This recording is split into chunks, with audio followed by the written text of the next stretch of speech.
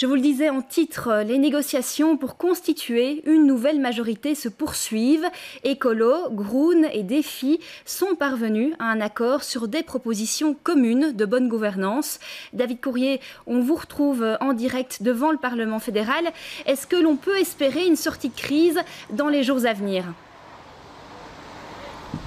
Écoutez Marie, en tout cas on peut parler de premier pas hein, vers une sortie de crise avec euh, une sorte de préaccord entre euh, préaccord sur la bonne gouvernance entre Écolo Groen, vous l'avez dit, et euh, le parti Défi. Zakia Katabi d'ailleurs l'avait euh, prédit ce matin en arrivant aussi au Parlement, elle avait dit on ira jusqu'au bout, c'est-à-dire jusqu'à une solution avec Groen d'ailleurs hein, qui rentre dans le jeu pour les questions qui concernent Bruxelles. Olivier Minguin, lui pour Défi, voulait trouver des convergences avec les écologistes, c'est donc chose faite, en tout cas sur des questions comme la durée des mandats ou encore le droit de réserve des euh, fonctionnaires. Euh, les partis, les trois partis euh, vont encore se réunir. Ils vont élaborer bien sûr des propositions et puis les présenter aux autres partis. Et puis une conférence de presse d'ailleurs sera prévue demain matin. Merci beaucoup David.